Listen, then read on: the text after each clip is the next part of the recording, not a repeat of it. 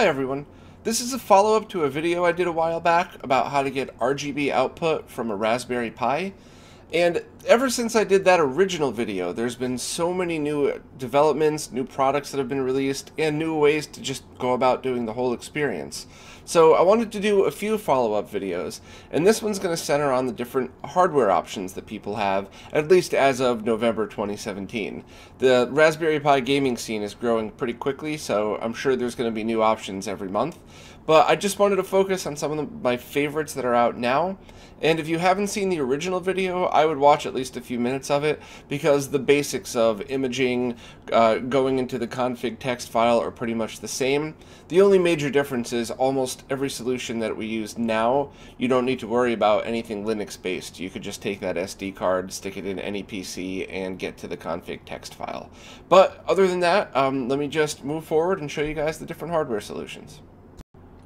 I'd like to just quickly start off with the VGA-based solution, which is the same one that I spoke about in the other video.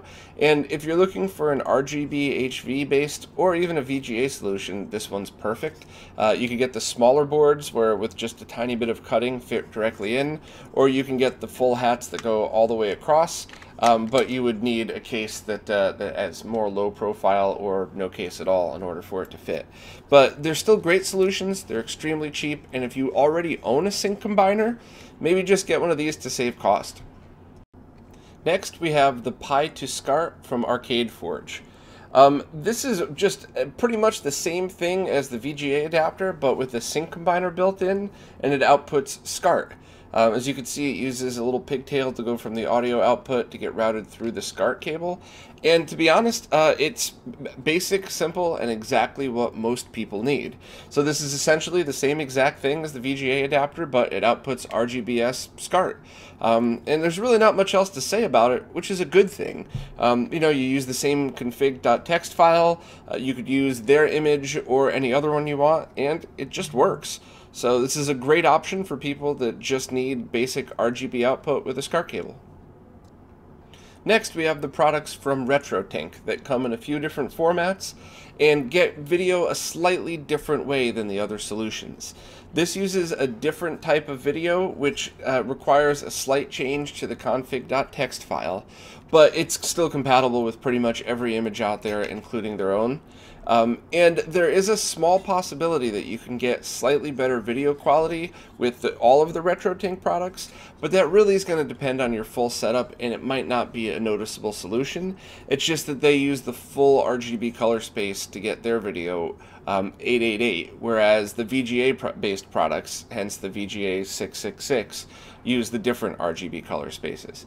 Now that's kind of getting a little bit complicated, and the way it's actually done was discussed with an interview I did with the creator, Mike Chi, and if anybody's interested, I'll put a link in the description for that. But basically, the RetroTink products are compatible with all of the other images, you just need to make a small change to the config text file, and you may or may not get a very, very small video quality increase. But what you do get is much different output options. So first is the component video version, which I absolutely love this one because this is everything you need to just grab an old cheap CRT with component inputs and start gaming.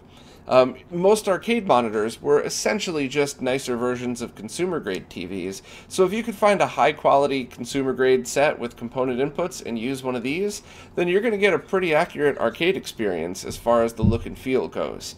Um, they also have S-video outputs as well as composite, but if you were looking for just composite, you could just actually use the AV output of the Raspberry Pi itself. Um, the composite video is here just because they had the ability to for just the cost of whatever this little RCA port is, so why not? Also, all of the ports can be available at the same time, so if you wanted to do maybe S-video out to a TV and then component to a capture card, you could do that as well. The other solutions are a BNC adapter, which this thing is just badass. Uh, this is a prototype. Um, it could output direct BNC, or if you'd like, you could just use a SCART to BNC cable, or technically BNC to SCART because they're directional. And uh, instead of using the resistor ladder, it actually does everything right on one chip, which is kind of neat. And then, of course, they have their Ultimate Edition, which has all of their outputs available on one board. And they all output simultaneously, and that VGA output could be RGB HV or RGBS, which means if you wanted to plug that directly into a monitor, all you would need is a VGA to 4BNC cable. So they're all great solutions and they're very versatile, and uh, links to all of them are available down below. Before I go into the next solutions, I need to mention the software that's used. Now, I know that this is supposed to be a hardware-based video, but this is an important point that anybody buying any of these solutions would need to know. All of the previous solutions that I mentioned can use absolutely any software out there as well as the custom images that those people supply for everybody. But these next, I actually recommend that you use their image which does have some limitations. So I'll talk individually about each, but the main thing is that the software they're using doesn't auto-expand the memory card.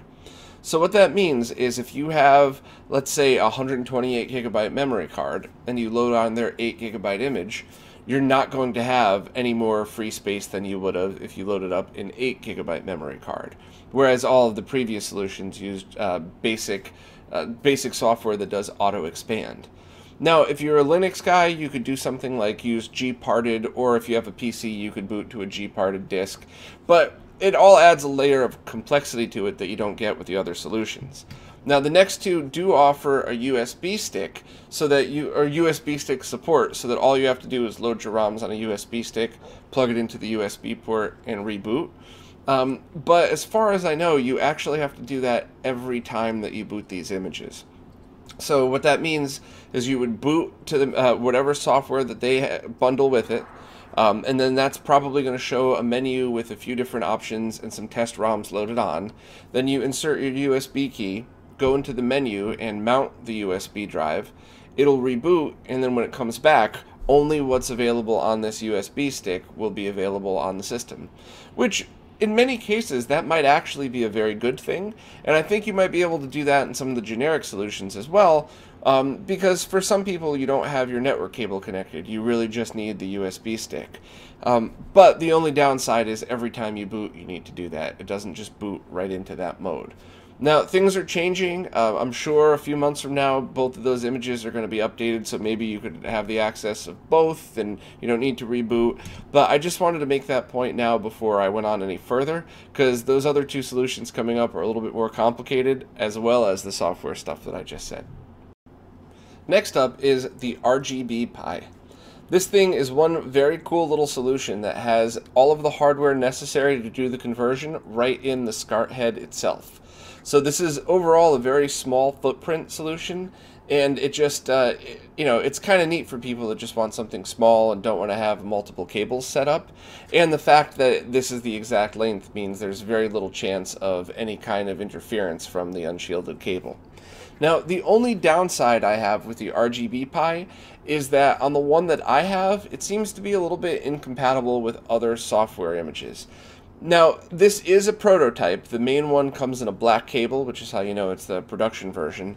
Uh, and I was told by the developer that if you have the right settings in the config text file, you could use this with pretty much anything.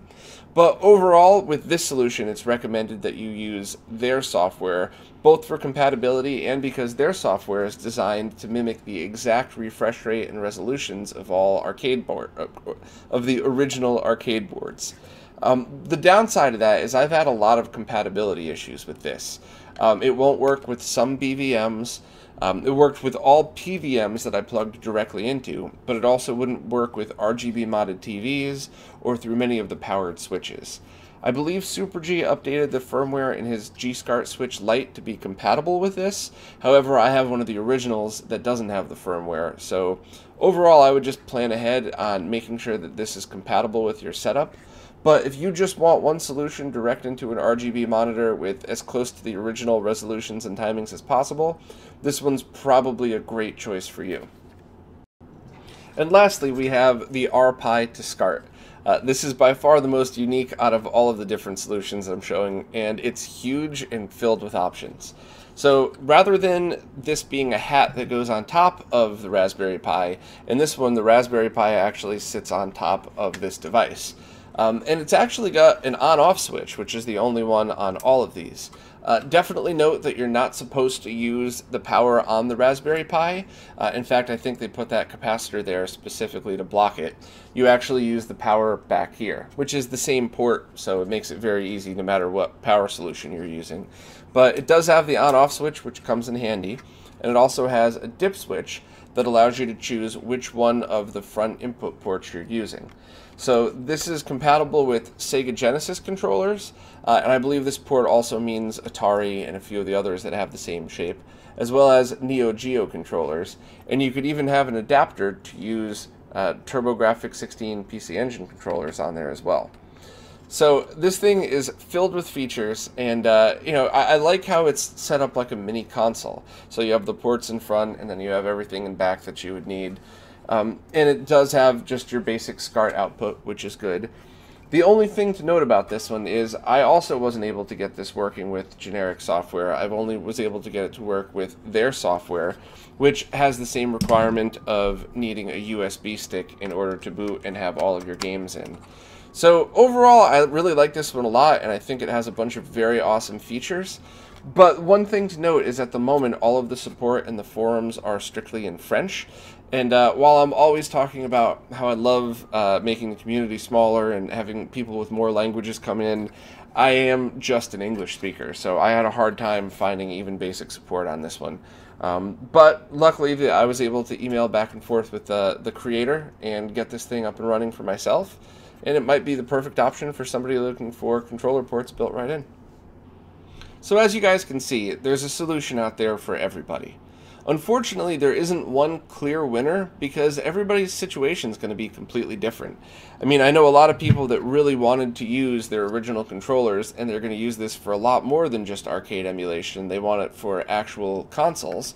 And maybe the RPi2SCART would actually be the, the perfect solution.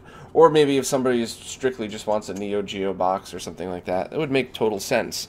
Um, obviously, anybody hooking up to a consumer grade TV, the RetroTink component video is going to be the perfect solution. Um, anybody that has a SCART setup and they just want a SCART cable in without worrying about sync combiners. Uh, and then, of course, just the basic VGA adapters for people that need those. But overall, the options are absolutely uh, awesome and really should cover everybody's use case. Me personally, I believe for the foreseeable future, I'm going to be using the RetroTink Ultimate because it has all of the outputs that I could ever imagine. So that means one solution to cover every kind of output. And that's exactly what I would need because I really do tons of testing and messing around with and less actual gaming. So um, really just base your solution on whatever is good for you and really whatever your specific scenario requires. Well, that about does it for the hardware side of things. And in my next video, I'd really like to dig into the software side of things. Is there a front end that's overall better than others? Can you get thumbnails, or even better, can you get preview videos on a, a 240p solution with RGB out? I was able to do it on my Windows-based main machine a few years ago, and I thought it was absolutely amazing, but I'm not even sure if that could be done on a Raspberry Pi yet. And of course, I'd like to dig into lag testing, which is obviously a, always a big issue because certain emulators are going to have more lag than others. Um, is MAME, FBA, is there a front end that affects it? All of those questions are pretty much what I'd really like to dig into next time. Uh, and if anybody has any thoughts on that, please post down below. As always, I have to thank my Patreons, because without you guys, there's no way I could make these videos, so thank you guys so much. And any comments or criticism, please leave down below. I really like to hear what you guys have to say, and I do read all the comments, and I'll see you guys next time.